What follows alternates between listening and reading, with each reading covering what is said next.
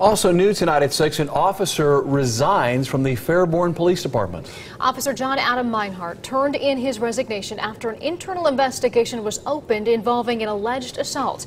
Natalie Tyndall with 2 News Investigates has been digging into his record and explains what happened.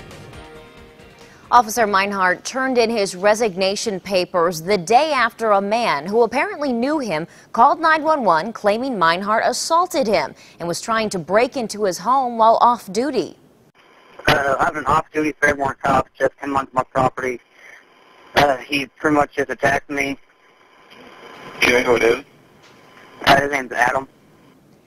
2 News Investigates obtained Officer Meinhardt's personnel file. We found he's been with the department since 2013. According to the documents, he's been a pretty solid employee, but he did start off with room to improve. His initial review said he lacked knowledge of state and local laws appropriate for his level of experience.